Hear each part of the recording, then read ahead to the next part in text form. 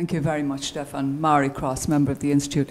Stefan, you have advocated that we, we try to develop, uh, along with Mrs. Mogherini's plans, um, more strategic and uh, effective um, uh, CSDP and, um, and military capabilities. And uh, indeed, the, uh, the Foreign Affairs Council and uh, Ministers for Defence have taken more active steps in this regard than they have for very many years over the development.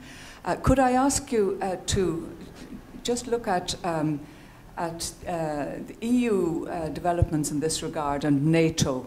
I mean, to, to, a large extent, there's quite a bit of competition between the development of EU capabilities and NATO. Uh, and what NATO is, uh, the NATO objectives, because effectively you are drawing on the same forces.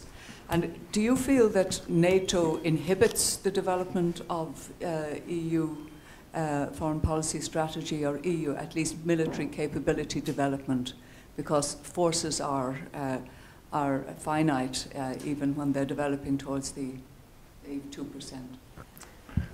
Well, uh, should I answer? Yeah. yeah. Uh, historically, of course, you're totally right. I mean, the fact that uh, for a long time this part of uh, foreign policy could not develop at all was based on the fight between the Atlanticists and the Europeans, between the UK and, and France. It's only in Saint Malo, finally, this uh, division was overcome. Uh, and clearly, there are still countries, particularly in Central Europe, um, but also the Netherlands, that are putting most of their eggs into the NATO basket. But I think uh, probably also the Trump factor could lead to a situation where uh, this notion of strategic autonomy, which was thought of being rather eccentric when Mogherini put it in, as gains actually credibility and support in the EU. Uh, I think NATO will continue to be the primary factor for European security, but I think its emphasis will remain very much on territorial defense. So the anxiety, the concerns about potential Russian aggression against the Baltics, etc., that uh, will be in the focus of NATO policies. But if you look at the uh, security challenges around Europe, a lot of it comes from uh, the Middle East, from Northern Africa, from Africa in itself. And there is probably a huge demand on uh, EU uh, training, expertise, maybe sometimes peacekeeping forces, potentially sometimes even some kind of a more robust intervention, uh, which where NATO is unlikely to be the, the preferred uh, instrument. So I think this is never really discussed out front. People avoid it to, to, to be very open about it.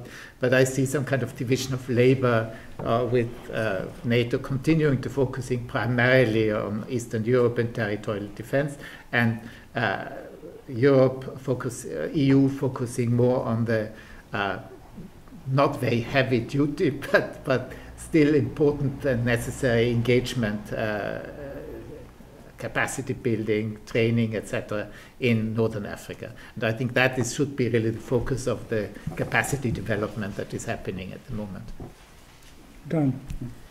Uh, thank you. You mentioned the WTO and the risk of trade wars. Um, I, I, wondered, though, maybe I misinterpreted, but that perhaps you um, haven't given it enough importance, given the, the, the, the the really um, vital link that it is, both in transatlantic relations and for the, the, management of the transatlantic economy, and also I think pretty much inarguable that the WTO is the most effective multilateral global institution um, as a rules-based, effective uh, uh, institution. Is, is that not something that needs to maybe go higher up in the priorities um, of, uh, of, of Europe, protecting the WTO keeping the US on board? Thank you. Well, my sense is a little bit that at the moment Europe is waiting to see what the policy will really look like. Hmm? Because uh, so far we don't know. Uh, if you can judge uh, it by the tweets, it's going to be horrible, absolutely. But we know there were also horrible tweets on NATO, and it didn't happen. Uh, and if you look at the the team uh, again, it's very mixed. There is uh, Mr. Navarro, uh, who is a very eccentric economist with an extremely protectionist agenda, but there are also these Wall Street guys who are, I'm sure, quite much more open on, on trade and who will win the president's ear on these issues and actually define policy is unclear. I think there has been a paper on, on renegotiating NAFTA, which is surprisingly mm. uh, weak in terms of substance, it's not radical in terms of substance. And the key question will be probably uh, is the president, is the administration ready to work within the WTO framework, or will they uh, somehow try to dismantle it or simply uh, impose their policies beyond it? I think that's the key question, and I think that will be also on the agenda today with with Mr. Xi. But uh, I think at this point, point uh, it's, it's taken very seriously. It's a huge concern. It can really brutally damage uh, EU, the EU's economy. Uh, but at stage we don't know yet what the policies will actually be.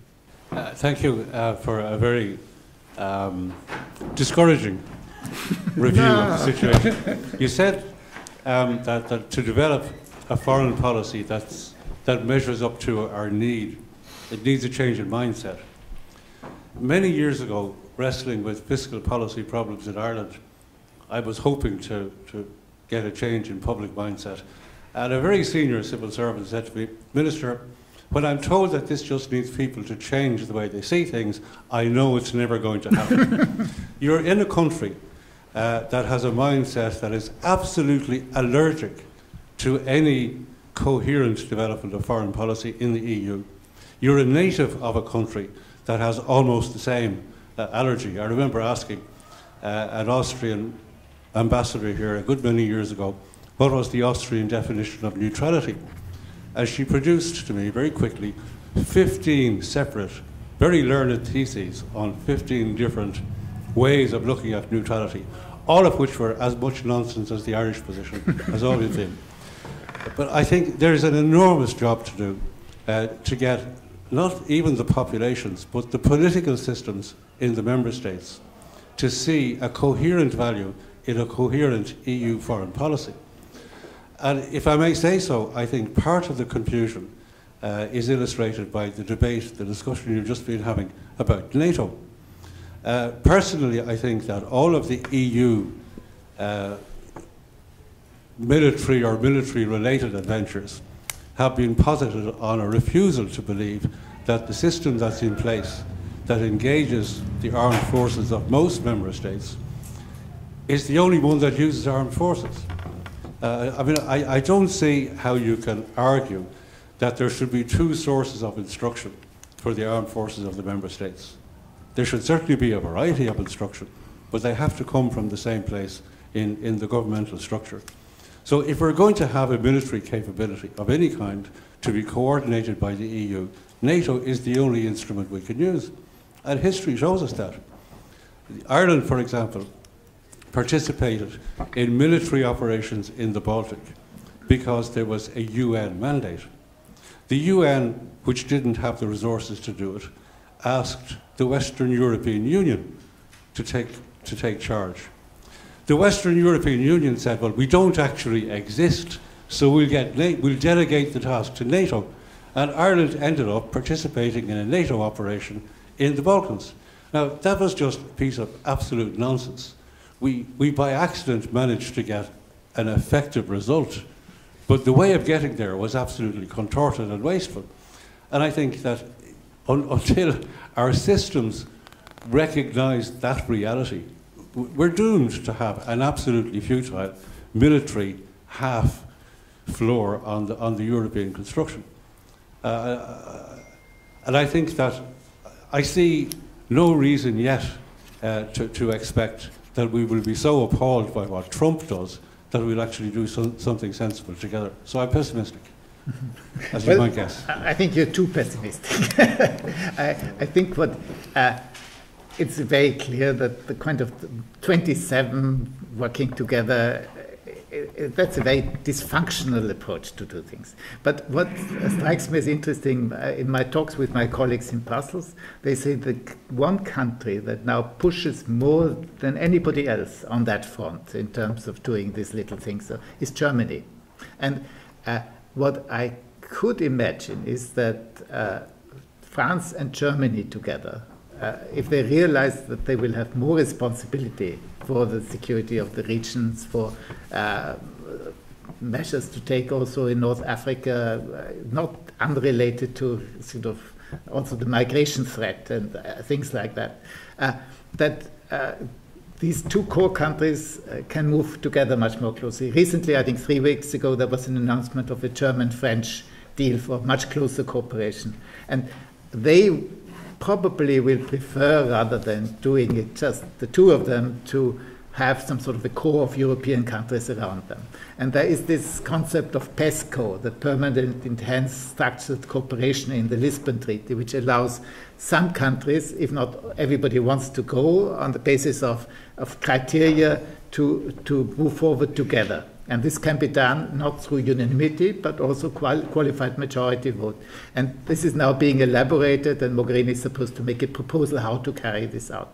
I think this is an area where uh, probably some degree of flexibility, allowing some to participate and others not, will be necessary. But it strikes me that uh, there will be a real need for military activity in North Africa, Middle East, possibly also in parts of Eastern Europe. And not on all of the issues, NATO will be the right organization. Some issues, the US might not want to be part of the scene. So I, I think that the, uh, the demand is there, and there seem to be some serious European politicians in Paris and, and Berlin ready to push in this direction. So I, I see the difficulties, but I also see uh, the political will, at least of some important people, to, to confront these difficulties. no, no. No, that. Uh, Noel Fahy, member of the Institute. Uh, Stefan, if I go back to Dan O'Brien's, the subject Dan O'Brien raised, not, not specifically WTO, but more generally, our whole uh, capacity to, by ours, I mean the European Union, our whole capacity to negotiate with the Americans on trade and economic issues. Now, unlike uh, the broader foreign policy side, we have a well established and well respected, and I know this from the five years I spent in Washington, a well respected uh, structure there led by the Commission with the involvement of the Member States. Now, what's your feeling about the chances of that structure standing up to the kind of challenge we might get? A little bit like the kind of challenges we had with, with Reagan in the 80s, where a US president who takes individual squabbles over individual trade issues, blows them up on tweet, and puts pressure on member states. The, the, the system works now because the member states cooperate with the Commission. Do you think the Commission is in shape to, to maintain the discipline and to be able to deal with that kind of situation? from what you've seen in Brussels recently?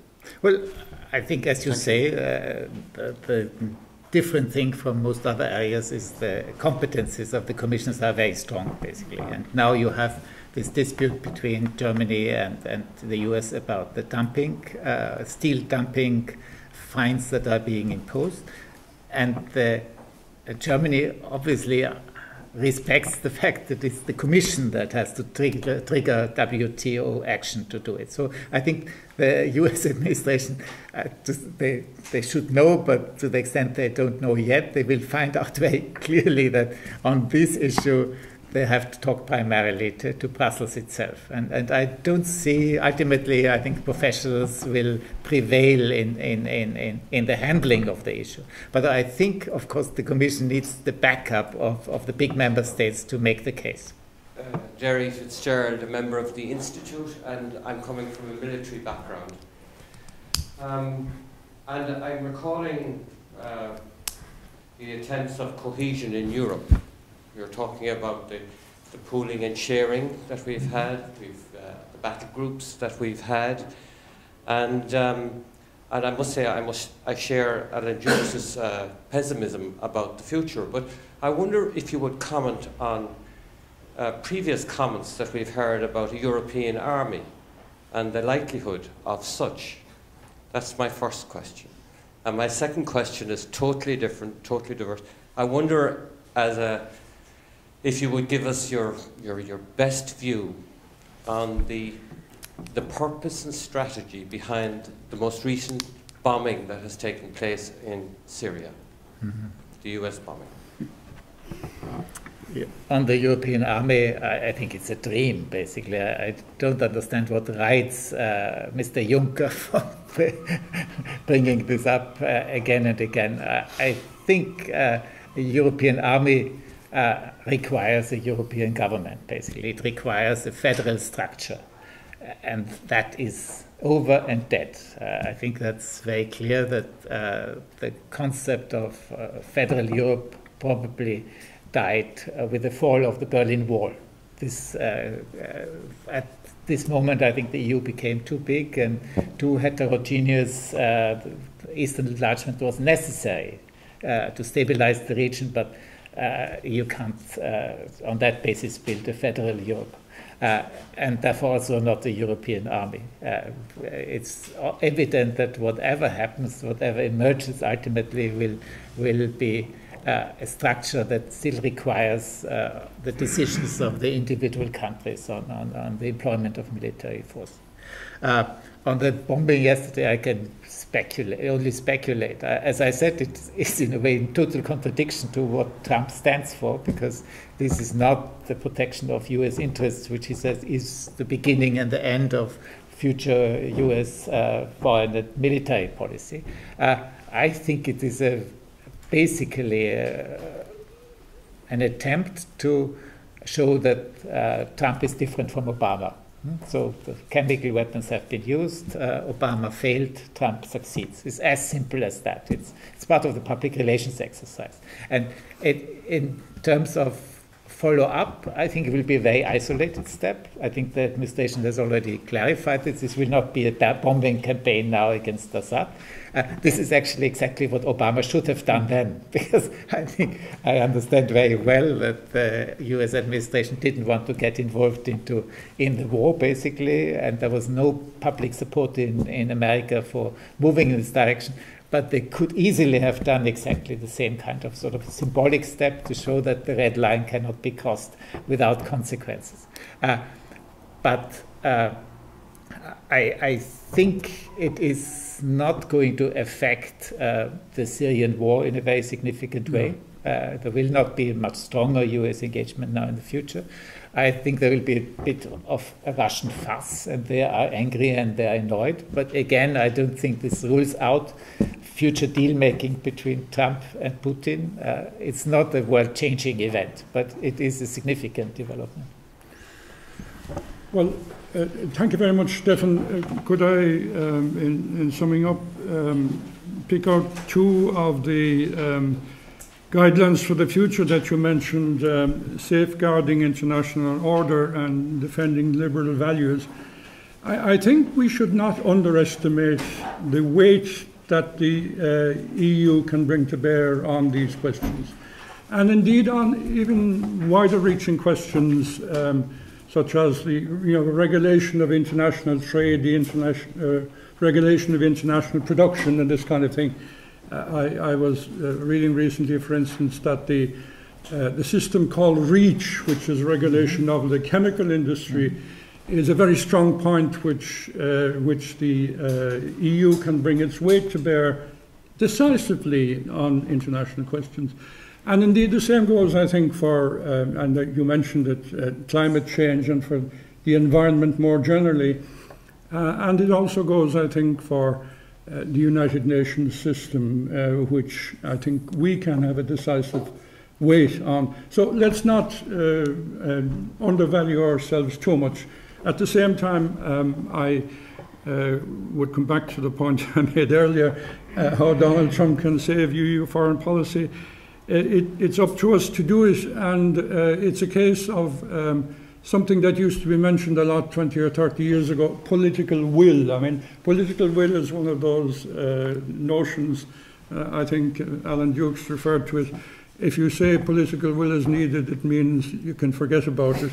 but What disturbs me finally about the whole thing is one of the last things you mentioned, and that is the contingency this year of what will happen in the French elections and what will happen in the German elections. Now, the German elections are perhaps uh, somewhat uh, less worrying, but the French election is really worrying because if the French election goes the wrong way, I think we can forget about our uh, European Union undertaking, and that is a frightening thought.